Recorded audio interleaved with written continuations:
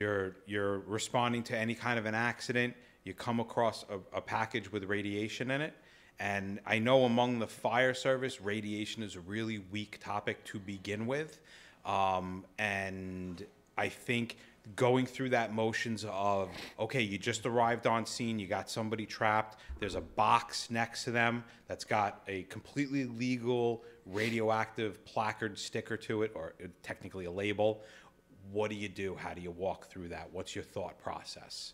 Um, mainly because we you should be having enough of an understanding of radiation to not fear it, to be able to make sure that the life safety operation is complete.